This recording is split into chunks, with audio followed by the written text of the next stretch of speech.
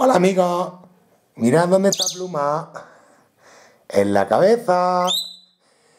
Miradlo bien porque quizás sea la única vez que veréis que mi agaporni pluma está en mi cabeza. Muy buena gente, ¿qué tal? Hoy vamos a hacer el vídeo sobre el por qué nuestro agaporni, ninfa o periquito, concretamente y sobre todo los agaporni, no deben estar en nuestra cabeza. ¿De acuerdo?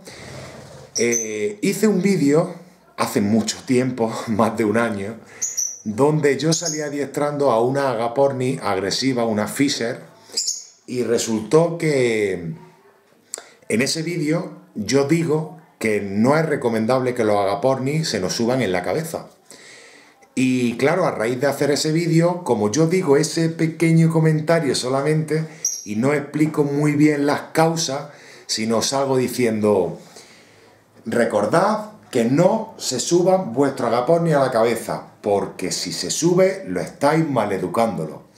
Y claro, como el vídeo iba de adiestramiento con un agaporni, luego dejaré por ahí el enlace, no, o mejor dicho, lo dejaré al final del vídeo y en la descripción, para quien no hayáis visto, aunque la mayoría lo habréis visto, resulta que a raíz de ese comentario, todo el mundo, las casi 100.000 personas que han visto ese vídeo, 100.000 reproducciones, todo el mundo, mucha gente me decía, Romanorum, ¿cómo que no pueden subirse a la cabeza? Si mi agaporni siempre está en la cabeza, o le gusta mucho subirse a la cabeza, o por qué no puedo dejarlo en la cabeza.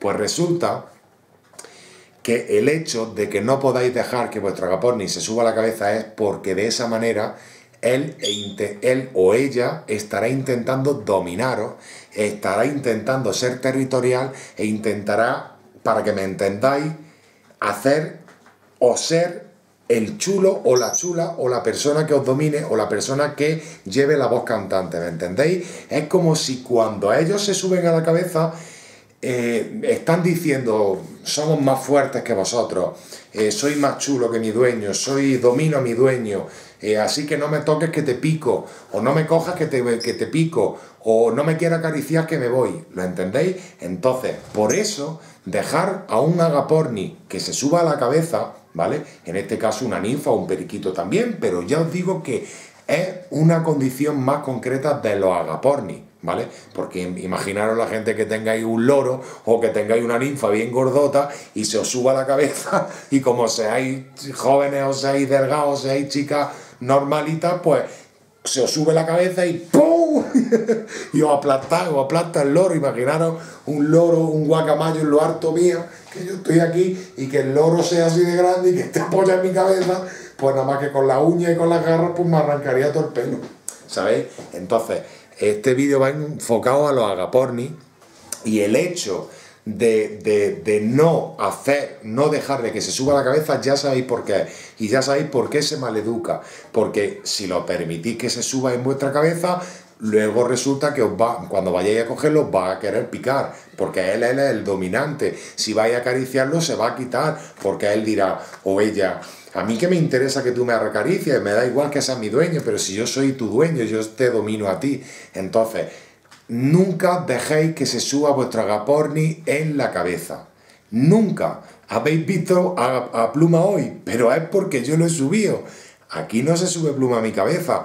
Y si alguna vez en la vida se subiese, lo que hay que hacer automáticamente es ponerle el dedo y decirle súbete, súbete, con el dedo empujándole en el pecho para que él automáticamente se suba en el dedo y aprenda que en la cabeza no puede durar ni un segundo.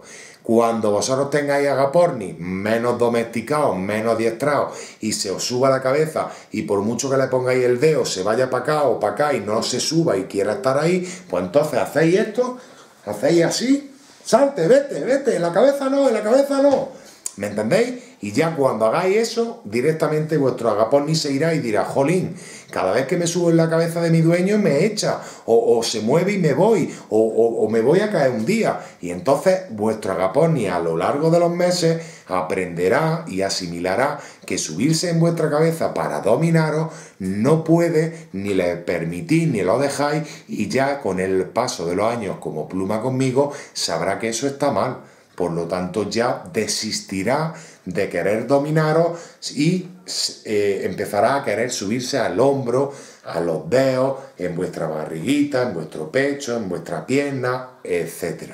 ¿De acuerdo? Haremos un próximo vídeo siguiente a este, donde enseñaremos a cómo hacer posarse en el hombro. Tengo una técnica y un truco muy bueno que os lo enseñaré. ¿De acuerdo? Bueno, así que os espero que os haya gustado el vídeo y que ya sepáis que nunca dejéis posarse a vuestro agapón ni en la cabeza, porque si lo hacéis, estáis mal educándolo. ¿Vale? Vente, pluma. Ven. Muy bien. Un cordial saludo de Romanorum y Pluma y chao, chao, adiós.